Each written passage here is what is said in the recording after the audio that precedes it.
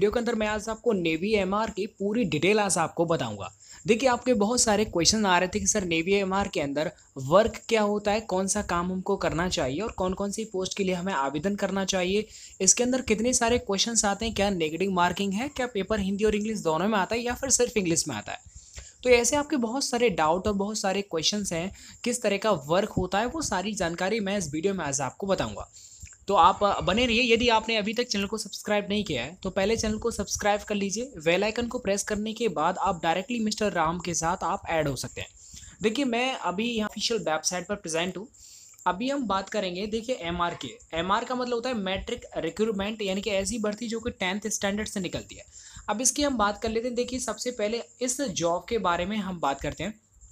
देखिए, इसमें क्या होता है कि आपका तीन पोस्ट होती हैं। एक तो सैफ, एक होता है स्टीबार्ड और एक होता है हाइजीनिस्ट। ये तीनों की तीनों पोस्ट आपके एमआर के अंदर आती हैं। ध्यान से सुन लीजिए, पूरी डिटेल आज आपको बता दूँगा। कोई डाउट, कोई क्वेश्चन आपके मन में नहीं रहेगा। देखिए, मैं आपको बता देता हूँ, जब आप नेवी एसएसआर में या फिर नेवी डबल ए में तैनात हो जाते हैं तो उसके बाद जब भी आप, क्योंकि आप नेवी एमआर के जितने बंदे होते हैं, उनसे आप मिलते रहते हैं, क्योंकि जहाँ पर भी हम खाना खाना पीने, खाने जाते हैं तो वहाँ उस एरिया के अंदर एमआर ही लोग रहते हैं। अब हम बात करते हैं, देखो, सैफ के बारे में। यहाँ पूरी डिटेल डिटेल यहाँ पर बताई गई है। यदि आप खाना बनाने में बहुत अच्छे माहिर हैं और यदि आप चाहते हैं कि शेफ़ की नौकरी आपको मिले नेवी के अंदर तो आप शेफ़ के लिए आवेदन कर सकते हैं। इसके लिए मैं आपको बताना चाहूँगा कि आपको दोनों तरह का, यानी कि नॉन वेज और वेज दोनों तरह का खाना बनाना आना चाहिए। देखिए, अगर आप नहीं भी जानते हैं, यदि आप उसमें इंटरेस्टेड हैं तो आपको ट्रेनिंग दी जाती है और उस दौरान आपको सारा का सब कुछ सिखा दिया जाता है। तो कोई बड़ा इशू नहीं है। और इससे बस ये बात याद रखना कि आपको नॉन वेज भी बनाना आना चाहिए।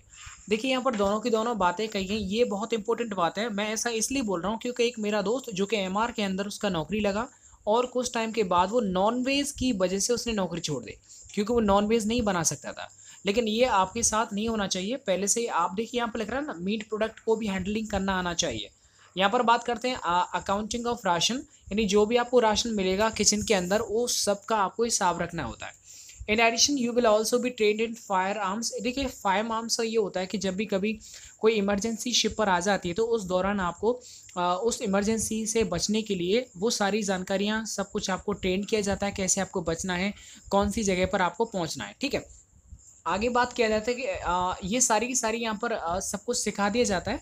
जो भी इमरजेंसी के दौरान आपको जो भी आपकी ड्यूटीज़ होंगी वो सब आपको सिखा दिया जाता है। तो नेवी यहाँ पर मैं बता चुका हूँ नेवी एमआर के अंदर सेफ़ की पोस्ट के बारे में पूरा डिटेल बता दिया। और यहाँ पर हम बात करें देखिए, आपको पूरा का पूरा खाना बनाना आना चाहिए। इसमें सैलरी का बहुत अच्छा प्रावधान है ट्वेंटी वन थाउज़ेंड से इसकी सैलरी स्टार्ट होती है। यदि आप, और एक और बात, यदि आप शुरुआत के दो साल कर लेते हैं तो इसके बाद फिर आपके जो प्रमोशन होता है, वो हर अगले छः से एक साल के बीच में आपका प्रमोशन तय हो जाता है। आपका प्रमोशन डिपेंड करता है कि आप कितने अच्छे शेफ़ हैं, कितना अच्छा खाना बनाते हैं। तो वो आपके प्रैक्टिकली वो खाने को देकर के ही जो आपके सीनियर ऑफिसर्स होते हैं, वो आपको प्रमोशन दिलाते हैं। और प्रमोशन इतना ज़्यादा होता है सेफ़ के अंदर कि आपकी जो सैलरी है, वो तो एक लाख से भी ऊपर जाती है। ठीक है तो खाना बनाना स्पेशली आपको बहुत अच्छा आना चाहिए, तब जाकर के आप सेफ़ की नौकरी में आवेदन करिए। उसके बाद देखो स्टीवार्ड आता है एमआर के अंदर, ये भी पोस्ट खैर अच्छी है। यदि आप बेटर लाइन में और अलग अलग जो भी ऑफिसर्स होते हैं, उनसे यदि आप मिलना चाहते हैं, बातचीत करना चाहते हैं तो ये स्टीवार्ड की नौकरी आपके लिए सबसे बेस्ट है। यहाँ पर बता दिया गया है, देखिए यहाँ पर ये, देखिए serve food in the officers messes and waiters housekeeping accounting of funds यानी कि ये बात क्या है, ज़रा जब भी खाना खाया जाता है मैस के अंदर या फिर यदि ऑफिसर अपने रूम में खाना चाहता है तो आपको उसके रूम तक भी सर्व करना पड़ेगा खाना। इसके साथ ही साथ यहाँ पर वेटर का काम करना पड़ेगा। वेटर का तो आप लोग सब जानते होंगे। इसके साथ ही साथ हाउसकीपिंग डिपार्टमेंट का भी काम आपको ही संभालना पड़ेगा, यदि आप स्टी वार्ड में जाना चाहते हैं।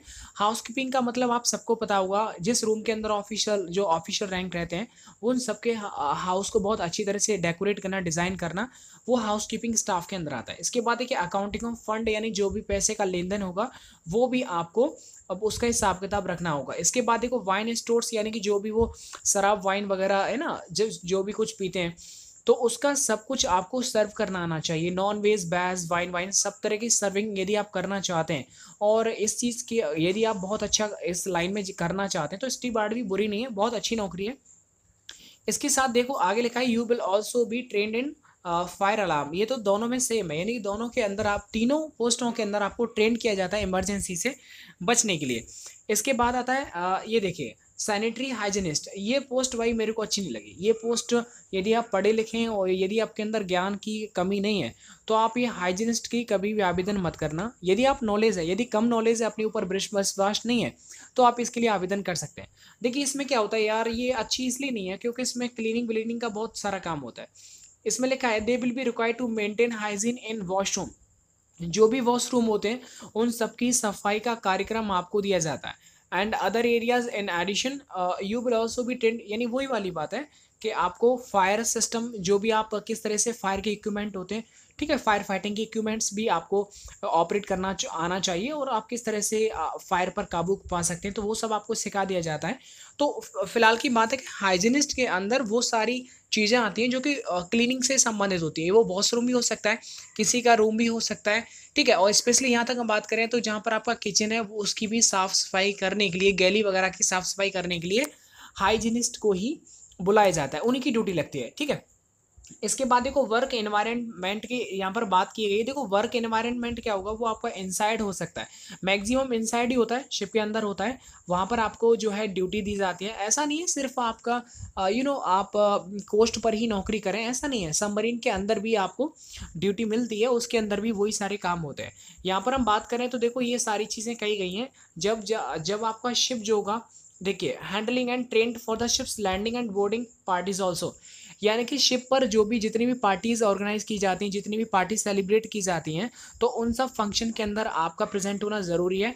वो आप क्यों अरे जब पार्टी चलेगी वाइन वाइन चलेगी, है ना? रम बिश्की बड़े अच्छी अच्छी चीज़ें चलती हैं। तो वो सब सर्व करने के लिए भी तो चाहिए ना? तो राइट ना? तो वो सारी चीज़ें स्टीवार्ड का होना बहुत ज़रूरी है सैफ का होना बहुत ज़रूरी है क्लीनिंग करने वाले का भी ज़रूरी है। तो वो सब आपको देखना होगा। इसके बाद देखो, ये देखो on one ship on lookout ये देखो लुकआउट ड्यूटीज़ इसको समझ लो क्या होता है। होता क्या होता है कि जब यानी कि एस एस आर थोड़े कम पड़ जाते हैं या फिर छुट्टी पर चले जाते हैं, कम होते हैं एक दो तो उस टाइम के दौरान नेवी एम आर की भी जो है लुकआउट के लिए वॉच होता है ना वॉच कीपिंग तो उसके लिए उनकी ड्यूटी लगा दी जाती है। आप समझ रहे होंगे, सर, ये लुकआउट ड्यूटीज़ क्या होती हैं? देखिए, जब शिप यू नो शोर पर खड़ा रहता है अपने कोस्ट में खड़ा रहता है तो उस टाइम के दौरान नाइट में भी शिप पर यू नो एक तरह से सिक्योरिटी खड़ी रहती है, यानी कि वो आसपास के क्षेत्र इलाके को देखती रहती है। शिप के ऊपर आपकी तैनाती होती है, ताकि आप ये बता सकें कि कौन सी साइड से किधर कौन सी साइड से शिप आ रहा है? क्योंकि जहाँ पर आपका इलाका होता है, उसके काफ़ी, उसके आसपास ही मर्चेंट नेवी के भी शिप्स भी आते जाते रहते हैं तो उनका आपको पूरा ब्यौरा और उन पर नज़र बनाई रखनी होती है। काम आपका कुछ नहीं होता, सिर्फ़ लुकआउट ड्यूटीज़ में आपको ये ऑफिसर को बताना होता है कि इस साइड से पोर्ट या स्टार्ट बोर्ड साइड से ये साइड होती है ना शिप की पोर्ट और स्टार्ट बोर्ड साइड से कौन सा शिप आ रहा है, कौन सा शिप जा रहा है तो सिर्फ़ उसके बारे में आपको बताना होता है, ठीक है? या फिर अगर संदिग्ध हालत में यदि मान लो जो नाइट का नाइट का टाइम है यदि आपका लुकआउट ड्यूटी लगा हुआ है तो नाइट के टाइम पर भी यदि आपको कोई भी संदिग्ध बोट दिखाई देती है या फिर कोई भी संदिग्ध, यानी कोई शिप नज़र आ रहा है, ठीक है? तो उसका पूरा डिटेल आपको बताना होता है अपने ऑफिसर के लिए। तो ये सारी ड्यूटीज़ होती हैं तो पूरा मैं डिस्क्रिप्शन में बता देता हूँ, क्योंकि ये मेरा एक्सपीरियंस है, इसलिए मैं आपको पूरा बता रहा हूँ। देखो, यहाँ पर ट्रेनिंग और एडवांस एडवांसमेंट बता दिया गया है। आपको चौदह वीक यानी फोर्टीन वीक्स का बेसिक ट्रेनिंग मिलेगा आई एन एस चिल्का के अंदर। ये और कुछ ज़्यादा है नहीं। एजुकेशन ऑप्शन बता दिया, आपका टेंथ क्लास होना आपके पास ज़रूरी है। यदि टेंथ क्लास नहीं है तो आप इसके लिए आवेदन नहीं कर सकते। क्वालिफिकेशन रिक्वायरमेंट यहाँ पर बता दिया एम के लिए चाहे आप शेफ स्टीवार्ड हाइजनिस्ट हो टेंथ क्लास का पास होना ज़रूरी है। इसके बाद देखो the age of steward chef and sanitary hygienist candidate should be between seventeen to twenty one यानी आपकी उम्र सत्रह से इक्कीस साल के बीच में होनी चाहिए। इसके साथ ही साथ आप इसका आवेदन कर सकते हैं। देखिए, और सबसे अच्छी बात बताता हूँ। इसका जो पेपर होता है वो पचास नंबर का होता है। पचास नंबर के साथ साथ इसमें क्या होता है कि कोई भी नेगेटिव मार्किंग नहीं होती है। तो अब इसका, यदि आप इसका सैंपल पेपर चाहते हैं तो आप यहाँ से डाउनलोड कर सकते हैं। यदि आप रिटर्न एग्ज़ाम का सिलेबस चाहते हैं तो यहाँ से कर सकते हैं। मैं चेक कर लेता हूँ। अभी ये डाउनलोड हो रहा है पेपर देखिए ओपन भी हो चुका है पेपर अभी मैं बता, देखो यहाँ पर आप देख सकते हैं, ये पूरा का पूरा सिलेबस है. कौन सा सिलेबस है, ये आप एक बार देख लीजिए स्क्रीनशॉट ले लीजिए इसका. ये सिलेबस आप स्क्रीनशॉट ले लीजिए.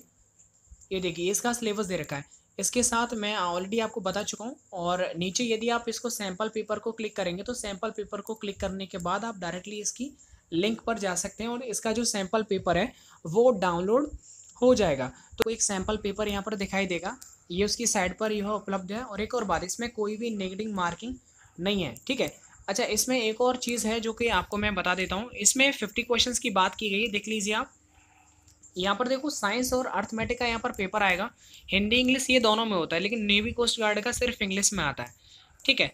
तो अब यहाँ पर मैंने आपको पूरा पेपर दिखा दिया है। और आप चाहें तो इसका मैं लिंक डिस्क्रिप्शन में दे दूँगा, वहाँ से आप इसे डाउनलोड कर सकते हैं।